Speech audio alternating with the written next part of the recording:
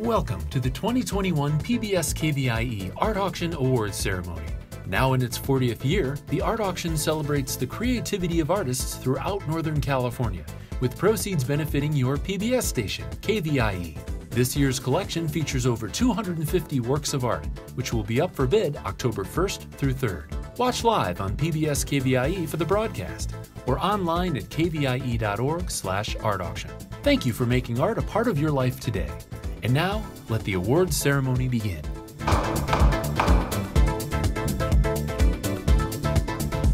Thanks for joining us for the 2021 PBS KVIE Art Auction Awards Ceremony.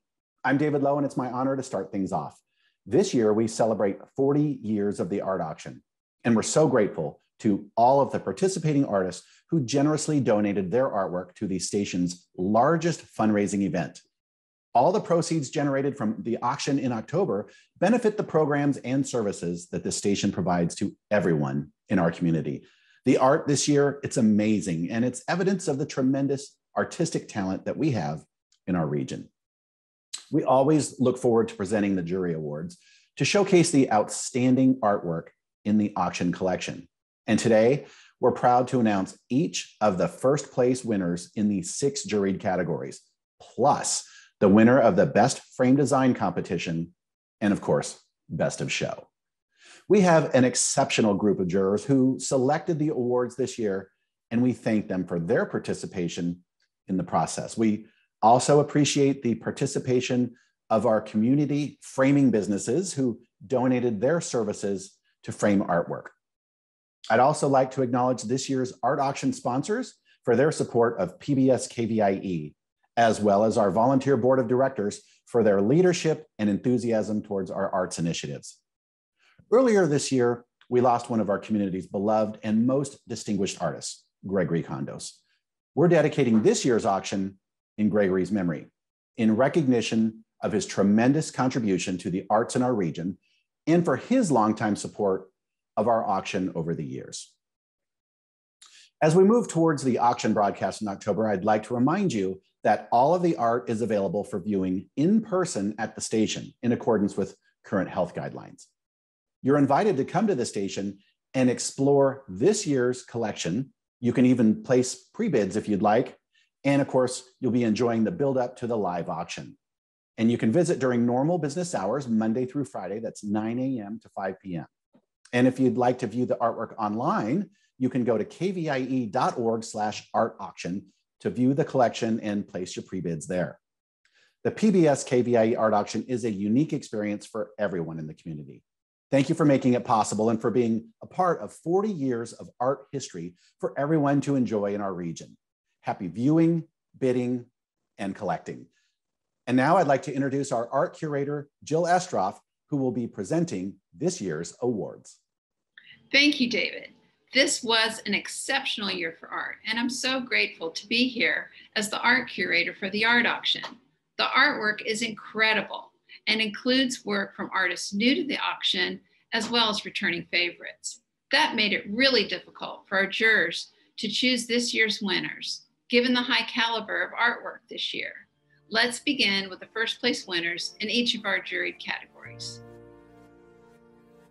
In the contemporary category, first place goes to Butterflies Are Free by Dwight Head, item 43E.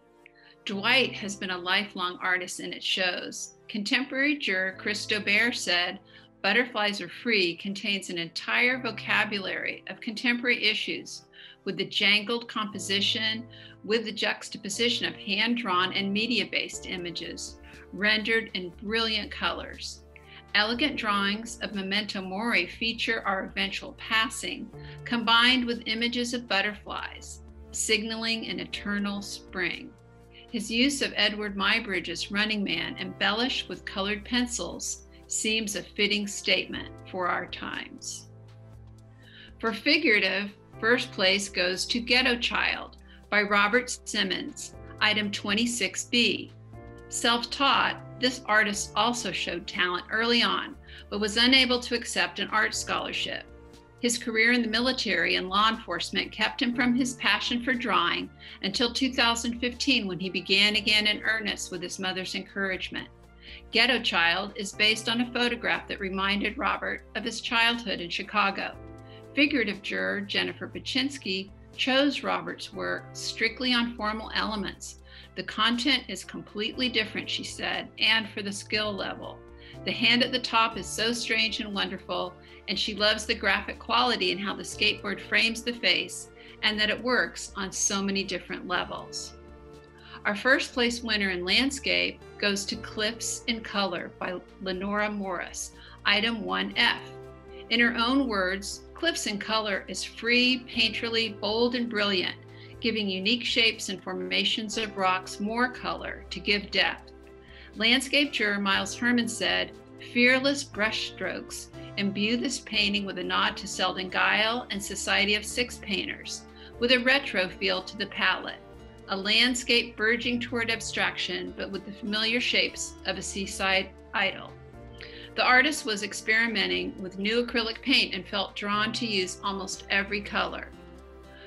First place in photography goes to Needle Sunrise by Paul Lambie, item 17A. Photography juror Donald Satterley really liked the otherworld quality of this unusual Canyonlands image. He said there's a grandeur to the scene that is compelling, but the jagged ridge line has a rugged starkness. In Needle Sunrise, early morning side lighting gives the vertical formations added dimension. He thought the colorful variations in the horizontal strata were fascinating. The composition includes many intriguing elements, such as the scraggly trees in the foreground and the small pools in the rock face. First place in sculpture is Listening for the Sound by Marcelia Bombola, item 11F. The artist wanted to create the feel of rushing water, movement over rocks that she felt while whitewater rafting, depicting listening for the sound of the water first. She achieved this effect by taking a large glass vase and creating a rough surface and applying sand and varied blue and white shades of acrylic paint. Juror Joya Fonda gave this first place in sculpture for its wide variety of color and textures and the way it was smooth and warm inside, cool and crusty outside with aspects of nature and lichen. It also made her think of geothermal pools and calcifications.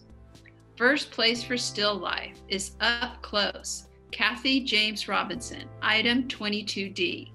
Still life juror Cecily Hastings chose Up Close for unusual composition, incredible detail, and balance of large shapes and many tiny shapes.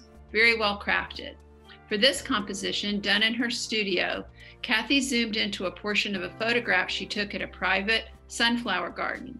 She's inspired by her love of bees and sharing how important they are to our environment. Her work is typically based on realism and detail, and up close is no exception. Kathy also paints nature images that include animals, birds, and landscapes. And now for our best of show. Reach for the Heights by Susan Ballinger, item 1B. Landscape juror Miles Herman noted that artist Sue Ballinger is not afraid of big pigment. He said in Reach for the Heights, the compositional balance of more than three fourths of the canvas given over to sky and tree, with a sliver of earth and a hint of structure, creates a tension that disregards the conventional use of space and exemplifies the feel of an autumn sky. Sue decided to feature the dramatic fall color in her Citrus Heights neighborhood and began with a series of small studies on location, her driveway, and then painted the larger 20 by 20 inch work in her studio. Like much of Sue's work, this painting is done in a unified color range with loose brushwork born from her beginnings in watercolor, using similar techniques in acrylics by building up layers, Jurors chose from six first place winners to award this Best of Show. And now for our final awards announcement, I'd like to present the Best Frame Design Award and honorable mentions selected by the 2021 Art Auction Framing Judge, Cynthia Larson of Larson-Juhl. The first honorable mention goes to R&M Framing for their design for Picket Fence by Jim McMahon, item 32B. With a touch of whimsy, this frame was a natural choice to complement the black and white photo and image composition. The next honorable mention goes to Choice Framing for their design for Stormy Days Gone By by Doug Parks. Item 27B. The frame captures the cloudy sky, but also has an underlying brightness that complements the sunniness of the photograph. And the winner of the 2021 Best Frame Design Award goes to Blue Bus Framing at the Hanley Gallery for their design for Ghetto Child by Robert Simmons. Item 26B. The framer paid great respect to the art by assembling a skillful and beautiful overall frame package. Congratulations to Blue Bus Framing at the Hanley Gallery for being our winner this year, and to all of our community framing partners. We thank you for taking your time and resources to frame artwork this year. This concludes our awards presentation. Thank you for joining us. And remember, you can see the art in person on display at KVIE through September 29th. And don't forget to watch live October 1st through 3rd.